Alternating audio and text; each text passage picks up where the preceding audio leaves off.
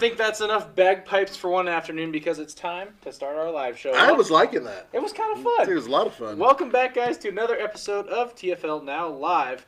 Uh, today we're talking about crossovers. Get excited. Get ready. it's the scourge of the industry. No, it's not.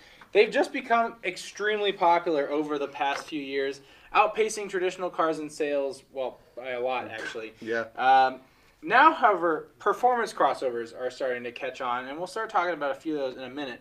Um, but the introduction of crossovers has, you know, it's it's meant to decline for more traditional cars around the industry, which we want to remember those cars today.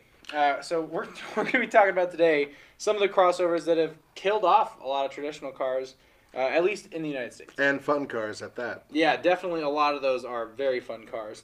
Uh, so to clarify something right ahead uh, of the show, we're not saying that the crossovers we talk about here are bad. We're not trying to say that crossovers are bad cars. Uh, but the automaker's decision to build crossovers instead of more traditional cars have meant that some of these cars, which were really, really fun, uh, have gone the way of the dodo. Keep this in mind. They wouldn't build those crossovers if you guys didn't want them. Right. I mean, supply and demand, right? So, I mean, it's gone from being every automaker had a crossover or even a couple crossovers to every automaker has a disproportionate amount of crossovers versus sedans and hatchbacks. Every automaker has like one crossover for each size classification now. There's compact, subcompact, mid-size, full-size crossovers for like six different manufacturers have at least all four of those. And we're not counting SUVs in this either, by No, the way. these are just SUVs, we usually, uh, SUVs are frame based, truck like. But to give this all some context, uh, we we should talk about what inspired today's show. Mhm. Uh, so Ford introduced the Fiesta ST line as a, there it is as a sort of send off for the model, and it looks like a Fiesta ST. ST, but it's not. Uh, it still has just the normal 1.6 liter engine, uh, normally aspirated, 120 horsepower and 112 pound feet of torque. But they've done a bunch of well aesthetic modifications like these wheels, the black painted roof, fancy paint color to make it look like a sporty ST model, kind of like the R line trim uh, with Volkswagen or R design trim at Volvo. Uh, so why would they do this and not just bring us a new Fiesta ST? That's kind of the question. Uh, my theory is that they had an overstock of engines that were on the smaller displacement side, and they decided, hey, what a good way to get rid of them, make the car look a little bit better before we completely fl- phase it out of the industry. Well, and they're going to phase it out because it won't sell, and what will sell is crossovers, Mhm. uh, which takes us to the list. So the list today is the manufacturers that are killing off their cars in favor of crossovers, uh, and the first manufacturer on that list is Ford, who has uh, recently at the Detroit Auto Show introduced the Ford Edge ST. Tell us a little bit about the Edge ST. The Ford Edge ST has an EcoBoost engine, 2.7 liter uh, power plant. I don't know, what was the output of that? It's three- 335 horsepower 335, and uh, 380 pound feet of torque. So On a vehicle that size, it should be really fast. Bear in mind, all-wheel drive, and they really put an emphasis on the fact that it's been track tested and it handles really, really well. They even hinted that it could handle as well as some of their vehicles that it's replacing, such as the Focus ST. They didn't say the Focus R. Yeah, yeah, yeah. I don't know about that. Mm. Um, the Explorer ST, as well, we know is coming. Uh, it's going to be a rear-wheel drive based platform. Yep. Uh, but you know, Ford has brought these two new ST crossovers. They're going to get rid of the Fiesta ST, Yep. the Focus ST, the Focus RS, and the Taurus SHO. Uh, they're all going to be gone for good, which is really disappointing. And I, we all we both have personal experience with at least all three of these cars. Mhm. You probably have more experience with the Taurus than I do. Mm. Um, we own a Fiesta ST. Yep. It's super fun, a great little track car, great gas mileage. It looks fantastic. There, I see nothing wrong with that package. 17 grand, 18 grand, uh, and you can have one of those in your driveway. The Focus ST also super duper fun, a torquey little engine, a great chassis, really good handling car. Comes with a manual transmission. Focus RS is the Focus ST on steroids with all-wheel drive, 350 horsepower. Uh, I had the chance to drive not on the Nurburgring in a Focus RS, but around the surrounding villages around the Nurburgring uh, in that color. It's a really awesome car, really fast. Uh, and the SHO is kind of a, an interesting sleeper pick. at the same time. Yeah, and it's also part of the performance package that some police departments have used and whatnot. Now, the bottom line is that they are being replaced by these crossovers. And we're kind of curious to your point of view. What do you guys think of it? Because Ford announced that they are going to basically only build crossovers, with the exception of the Ford Mustang. Now, initially, they were going to be selling the, which was sort of a crossover, the Focus Active Yeah.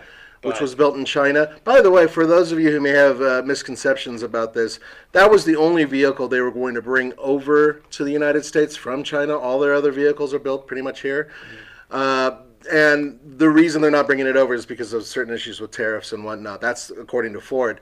But uh, that vehicle was being built there, but under the supervision of Ford as such. I'm sure the quality wouldn't have been too bad. I heard good things. Bottom line is we're not going to get it, which means Ford's base model vehicle in the very near future is going to be the Echo Sport.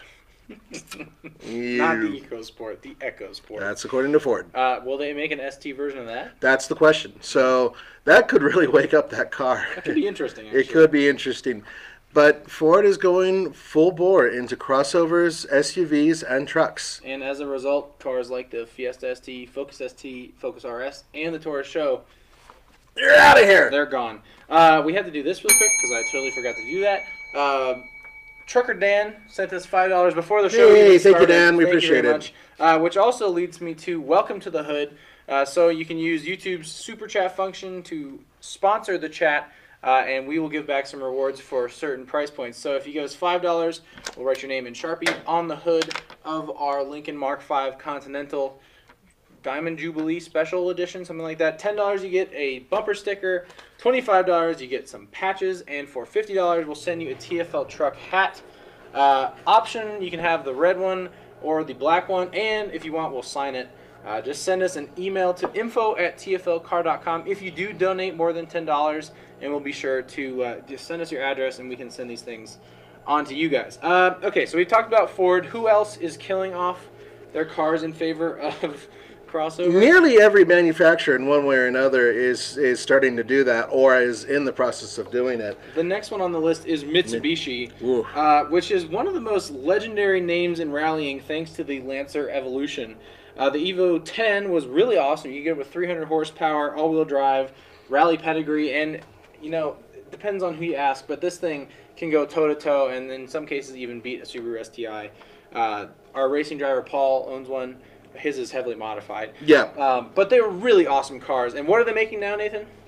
Uh, well, they're making the Outlander Sport and also the Eclipse Cross. Mm, which are not uh, Race cars. Mitsubishi Lancer Evos. Uh, The thing about the Lancer was um, the Lancer had the, the bare models for years, and the thing is, is that Mitsubishi never went and really did a serious refresh or a serious update. And they had the, the Lancer GT, which was actually at the time a really good front wheel drive car. It had good power, great manual transmission. It did great, and it was inexpensive. And then you could bounce up and go all the way up to the Evo, and that was an animal. Some of some of my fastest times on two of the racetracks that I frequent were in that car. It's that good, and unfortunately, it's been gone for a while. And what Mitsubishi has done is they've removed all the cars from their lineup, with one exception: the Mirage. which it's, a, it's, a car. It's one of the most unloved cars out Oh, there. However, it is for a non-hybrid vehicle one of the most efficient. It's very efficient and very inexpensive, actually. Extremely, it's one of the least expensive vehicles to own. And I think it's good to note also, especially this Eclipse Cross. You and I have taken that of Goldmine Hill. Yep. And while Mitsubishi has Mitsubishi has ditched their uh, the Lancer Evo, they have still baked a lot of their knowledge from rallying for so many years into that vehicle because that thing is exceptionally good off road. Yeah. Especially considering it has a CVT. And also, the the tires were not up to the task. So yeah, No, well yeah. done with their all-wheel drive system. That made it up stage three, which is something that of, of Goldmine Hill, which not a lot of cars can say that they did. Um, all right, enough about Mitsubishi. I think it's time to move on to our next manufacturer, Mercedes Benz. So I want to preface Mercedes Benz by saying that Mercedes does still sell quite a few AMG models here in the U.S. Yeah. They have the C63, the C43, the E63, the E43, the CLA 43, the GLA 43. There's a plenty of cars that Mercedes. A lot of 43s. Um, but specifically, the GLA class is one that's well a little suspect because in Europe they get the A class just as an AMG model on its own. They get you know the A is this one, the uh, A43 AMG. But here in the U.S. we don't get the A43, we get the GLA 43 hmm GLA 45. excuse me, 45. And the differentiator between the GLA 45 and the A45 is that the GLA 45 is a crossover, basically. It's kind of lifted, it has some plastic cladding and Yeah. stuff like that to look a little more rugged and off roady. Uh, but we don't get the normal low slung A class A45 AMG here in the US, which is kind of strange. Uh, before we go on, uh, looks like we're frozen over here, so you're gonna have to throw the questions at us. Uh oh. We did freeze. So Just our computer. You guys are probably still fine. We're no questions at the moment. so Okay. Good deal. Uh, Mercedes, uh, however, makes a, as many AMG models as they have as cars. They probably have you know more, if not the same amount, if not more, that are SUVs. Right? They have the uh, GLC, the GLE, uh, GLA. Am I getting all these right? GLC. G- GL, it's GLA, GLE, there's GLA, GLC, GLE, E, and GLS. As a side note, Mercedes naming convention is completely bonkers and extremely confusing. But regardless, they do make a lot of AMG SUVs as well. And our suspicion is that it might be the case that these models tend to stick around longer than the sedans and little hatchbacks do. Yeah, and at the end of the day, the least expensive and or easiest to acquire Mercedes-Benz products are their crossovers. Uh, and to be honest, BMW is actually kind of starting to do the same thing. Yeah, I mean BMW has what from one till eight now Yeah. X models, or is it Uh, X seven? Seven. One through X7. seven. They have X1, the X2, which don't have M models, although they have M performance And performance packages. The. X3 has an M40i, Mhm. which is actually quite fast.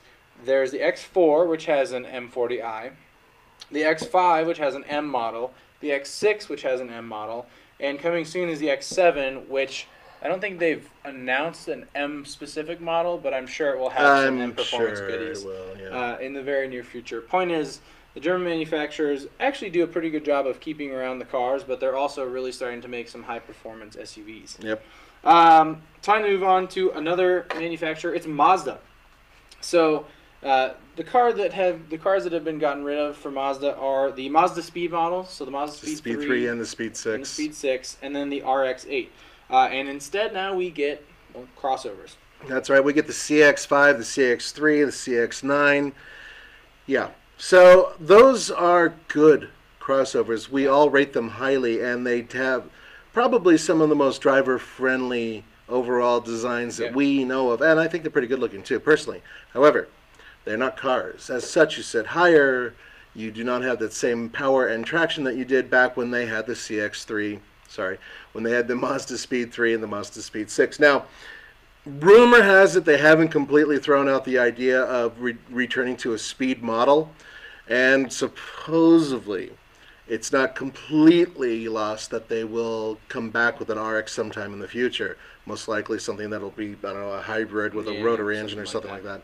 Who knows? But the bottom line is those cars disappeared, and what we're left with is for the most part SUVs, crossovers. Yeah, I think dynamically speaking, you're right. The the CX models from Mazda are actually some of the best crossovers and SUVs to drive compared to a lot of On the road. competition. On the road, at least. Yeah, Yeah. they're actually pretty fun to drive. Uh, and the CX5 makes a lot of money for Mazda. That's probably their biggest money maker. Um, I know you have had experience with some Mazda Speed models. I, Yep. My roommate, uh, all through college, had a Mazda Speed 3. Those are really fun cars. Uh, and they they've put a turbocharged engine into the Mazda 6. Like oh, they the- even had all-wheel drive with the Mazda 6. Yeah. With the, yeah, I mean they've done a lot of stuff with it. But the new one now has a Oh, turbocharged engine. The new one right? does as well. Yes, it I, does. I mean, they have like all the steps to go there, but they're favoring models like crossovers and SUVs because they make a lot more money for them. So it might be some time before we get to see another hot hatch like the Mazda Speed 3 or a really cool all-wheel drive turbocharged sedan like the Mazda Speed 6.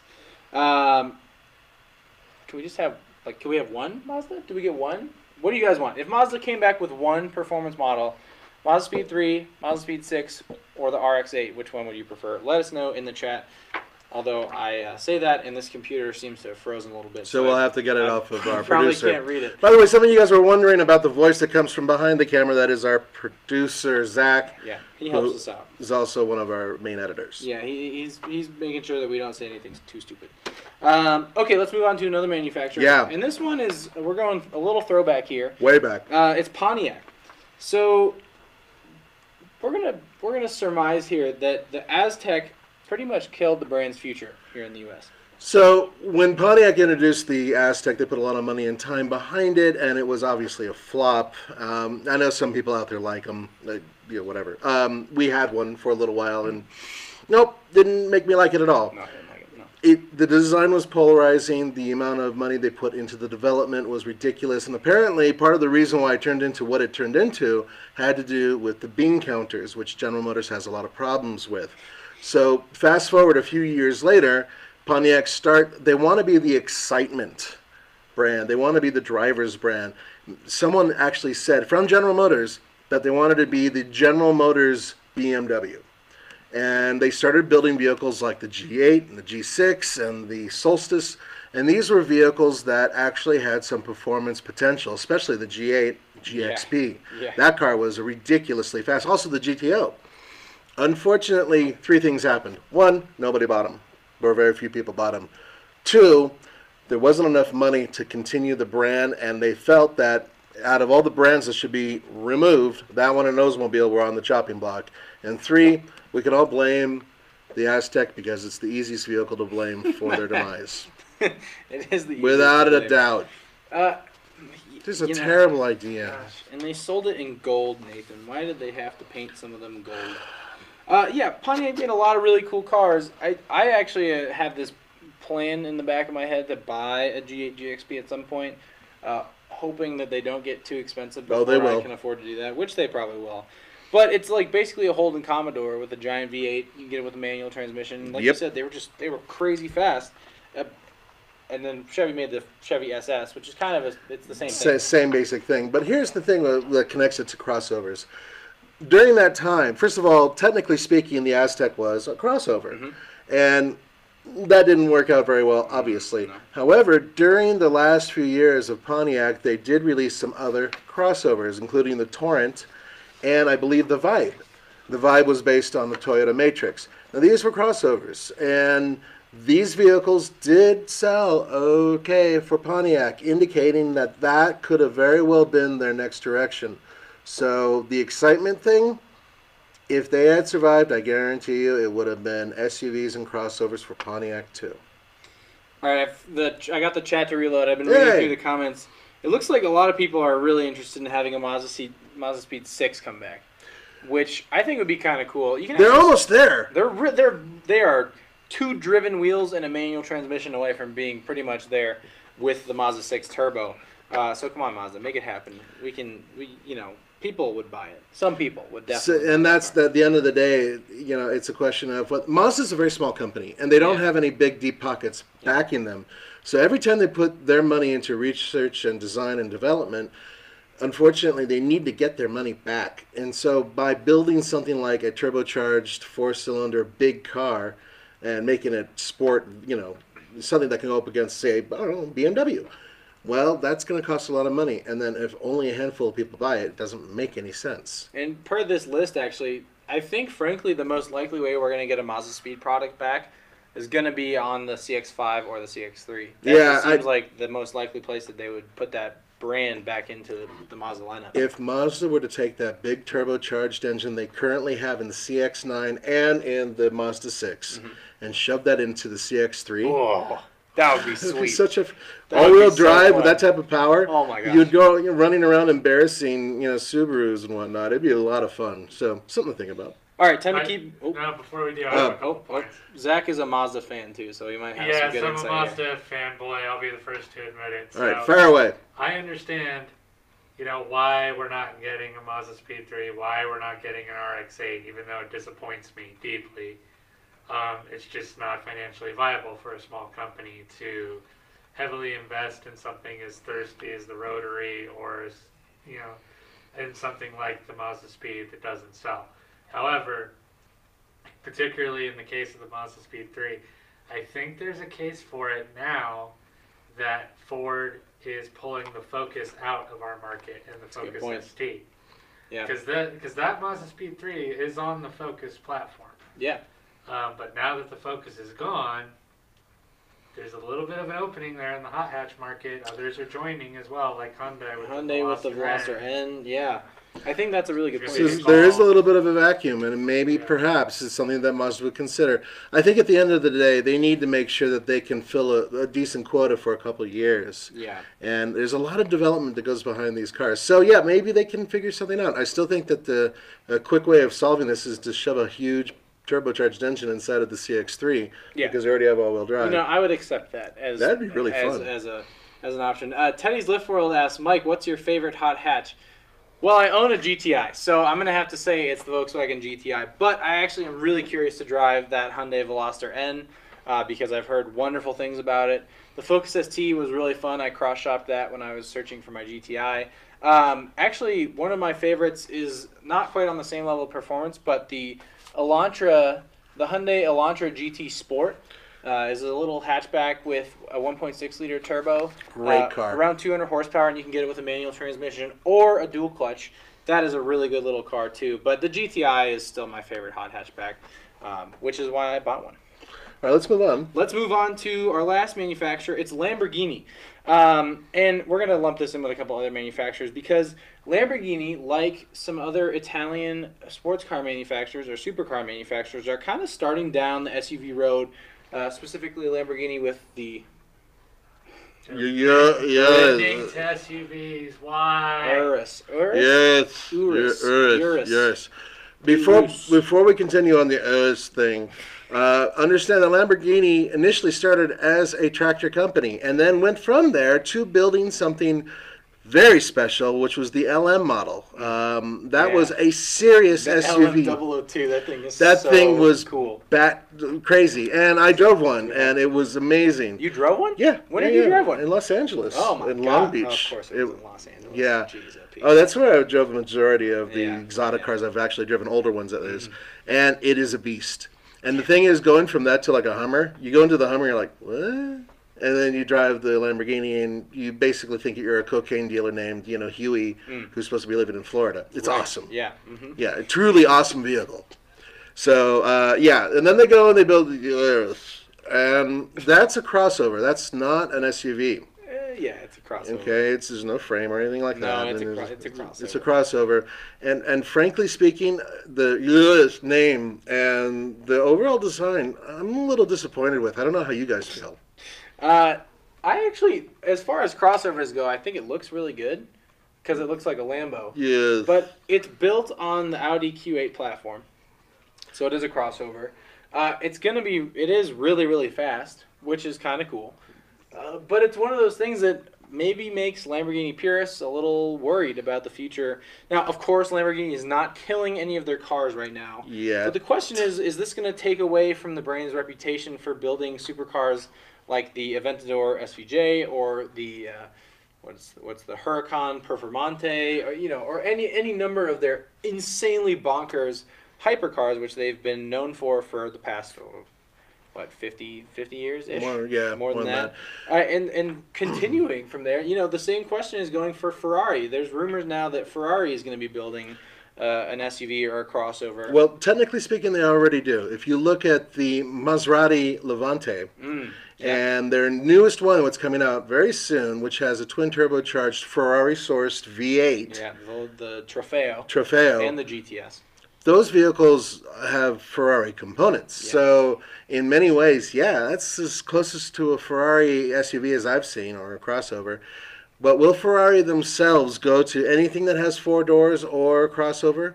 Well, initially the answer was no. But remember a while ago when Ferrari said, we'll never build an all wheel drive vehicle? Yeah. And then they said, we'll never build a hybrid? Yeah. So I'm kind of hoping they have a better name for whatever they're not going to be building, which they will be building, other than yes. So hopefully it'll be something a little bit better. Um, but at the same time, God, it hurts, doesn't it? It's a little weird. Can you imagine Ferrari with a crossover? Mm. you know, something that goes banging around Beverly Hills malls in That's order to buy do. dra- It'll just be in Beverly Hills. That's the only place they're sell- they're gonna sell when them. when Porsche initially talked about building a crossover SUV, I freaked and I, I was inconsolable. I, I hid in the trunk of one of Roman's cars for nine weeks. I, I, I you know I barely ate. I lost you know no weight. That's but how we knew when winter was over that year. Actually, That I actually came out of the trunk, vehicle. Yeah. but I mean think about it, guys. I mean the, these are dedicated, serious racing brands and Yeah. sports cars, super sports cars. Now McLaren swears they're not going to build one. They say they are not going to build a crossover or an SUV. But so did Porsche. Yep. And Exactly. I'm sure for a long time too, Lamborghini was saying, no, no, no, no, no, we're not going to do that. And you know who it was already announced that they're very interested in crossovers? Lotus. Mm. Lotus! God! Is it going to be really tiny and hard to get into still? Well, of course. And Yeah. then it's, uh, you know, it'll probably have a Toyota engine or something like yeah, that, so it'll run for a while. Yeah. Guys, what's happening? It's a weird world we live in, Nathan. I mean, the next thing you know, you're going to hear about some company getting rid of all their automatic and manual transmissions in favor of uh, CVTs. No, don't say that. Why would you say that? Don't Oh, say wait, that. someone's No, no, already no, done that. No, they haven't done that. Who's done that? There's some Japanese companies Oh, rumored to be doing this. Which reminds me, by the way, before we even come close to closing this out, we wanted Right. to say a special congratulations to Subaru and their Ascent, Ascender? Ascent. Ascent, for having 19 cup holders. You smashed the record.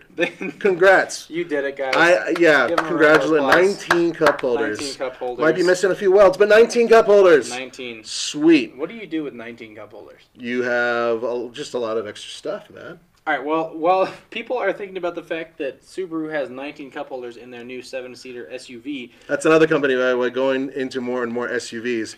Remember that at one point in time, the closest thing they had to an SUV was the Forester, and everything else was a wagon that was slightly lifted. Yeah. Now, pretty much everything is the size of a crossover. yeah, eh, that's, that's true. Um, we have two bonus questions today. So you've selected a picture of the day, Yes. and I have just come up with something on the spot. Okay. So we have here a model of a GTI. Actually, I totally forgot to mention that when we were talking about hot hatches. Here's a model of a GTI, and my question is, can any of you guys guess what scale this model is? It's in giant letters on the back of the box, so I know exactly what it says, but I doubt that any of you can figure it out. So if you guys can post a comment in the comment section and tell me what scale, it's got to be a one, two, something, uh, then I'll give you a shout out. And there's Nathan's picture of the day. What do you guys think? Huh? Oh my gosh. Come on, guys. Now, you don't have to say the specific car in terms of what it is, because it is a mix mash, a Frankenstein, if you will. Oh. of components put a- together. Yes, um, but at the very least, name the movie it came from. It should be pretty easy for old farts like me in my age category. So they're naming the movie. yeah, the oh, it'd be nice to name the driver. I mean, once again, it's a Frankenstein of Uh-huh, vehicles in terms of the amount of components it has inside of it. By the way, you're looking at that and thinking Corvette, new. It's modeled to look like one, but it's actually a rear engine car. And no, the engine you're seeing out of the back, that's not real. You know what's real? Underneath that engine is a six cylinder Corvair engine. Ah. And it's hooked up to a three speed manual transmission. Really? Yep. So, yeah, movie car. You know, they do stuff like that for various reasons. right, are, are any of it? Is this right? Is What that was it? correct? Is that it? Nope. Nope. That one? Nope. Uh, no. Uh, close. Ron, uh, McKe- you, you got the first half, but it, there's a number that follows the, the name because otherwise you're talking about a modern movie. And this is a movie that Oh. happened. Is that it? There we go. Uh, Joseph Peoples. Yeah. Race 2000. 2000, that's Joseph. correct. No one has gotten the scale of this GTI so far. Because- So while it's we're coming. waiting for somebody to figure that out, there's a really good comment earlier from Ben Treese Uh-oh. who said they need to bring back the Buick Grand National as well as the Chevrolet Caprice Classic Mm. and the Cavalier. Not so sure about that one. Cavalier. Buick Century and Buick LeSabre, again, not so sure. And Cadillac Fleetwood Brougham. That one I do agree on. That thing was a tank.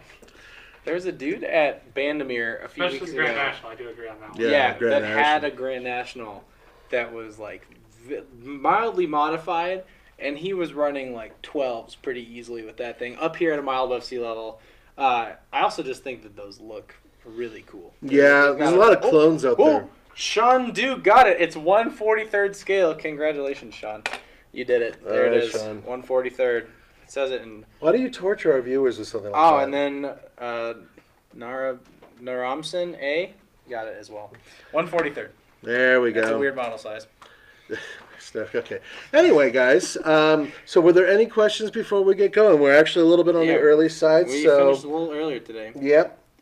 Let me Um, check. now listen, while we're looking over questions, tomorrow is a big day because Yeah. we've got Mr. Truck coming in. Ask Mr. Truck. Yeehaw! He has been asking for it. Woo doggies. Now you get to ask the man himself. Yep, he's going to be moseying up here as he tips his hat and says howdy. Mhm. That's about as good as I got with the, Is that- is that- the normal Western. Oh, he's He'll, he'll be wearing his, his boots and, and his six guns. and a vest. A always has a vest on. He likes vests. And he'll be asking Tommy if he drank his milk. Tommy, you drink your milk? and, Make sure you drink your milk, Tommy. and offering to teach him how to shave. Also that. Uh, what else does Ken recommend? What, what you, he Oh, tells, well, you he's gotta- told me you goats. gotta- He likes goats. He likes goats, and you have to lubricate your axles. Don't forget to lubricate and your, your ball. axles. Oh, and he always has truck nuts. Uh, but the, the ball, you, you got to lubricate the ball. Oh gosh. I'm telling you what he says. Oh Jesus. Okay. And on that note, And on that, On that note, note, okay, thank you guys. guys so much for tuning in today. We hope you liked this episode. Uh, we just decided it'd be fun to talk about crossovers for a little bit because I, I, I, am I'm under the impression that many of you are like me and you're a little hesitant. You Sad. want to like them, sad. they make some sense, but at the same time, don't make much sense. they are usurping cars. Usurp was a nice ten cent. Oh, whoa, whoa, whoa. Oh, Trucker Dan, once again, ten dollars. Thank you very much. thank you. Uh, my it, service trucks today, and I couldn't keep up with the video this time. I hope y'all have a good day. Can y'all just do a Q and A? A Q and A. Oh, like a Q&A episode? We can do something like that. You know, maybe next week, if, if everything works out, what we may be able to do is do a topic and then mix it up with some Q&A along the way. And if that's the case, we'll let you know in advance so that way you guys can queue up your questions. Does Yeah. that sound all right, Mr. yeah, Producer? that's a good idea. Alrighty? Uh, so yeah, we'll we'll have a Q and A sometime very soon. I think that's a good idea. Yeah, we'll mix it up with some topics. Now, bear in mind, lots of topics coming up, guys. We've got auto shows coming up. We've got Oh, SEMA so coming coming up. up. We have a debut of everything from the new RAV4 all the way over to a brand new Cadillac that are coming out right around the corner. So, lots of stuff and more truck stuff, too. So. and that Ford Edge ST. We're gonna be driving. and the Ford. Edge ST. I'm actually looking forward to it because I'm hoping it'll blow my mind and I'll be like, oh, yeah, okay, who cares about the Focus? I won't do that. I won't do that. It might do that. It might do that. We'll have to see. Okay, guys, See you guys next take time. Take care. Play us out. Bagpipes. Oh, I forgot the volume. What? Every time. I always forget the volume. I'm not Irish or Scottish, but I love bagpipes. really? Yeah, I love them. Why love them. bagpipes? Huh? Why do you like bagpipes? I just think they're cool.